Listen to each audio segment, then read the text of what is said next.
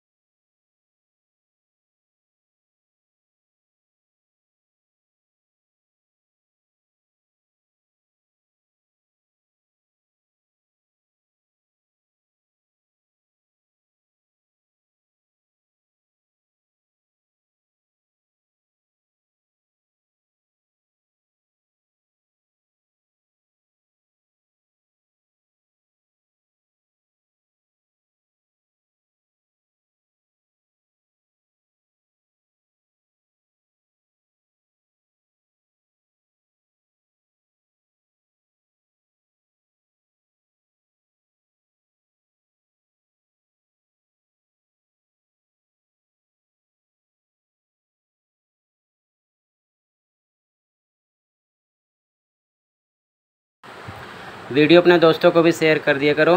ताकि उनकी भी हेल्प हो सके अच्छा लगे तो चैनल को सब्सक्राइब कर लो मिलते अगली वीडियो में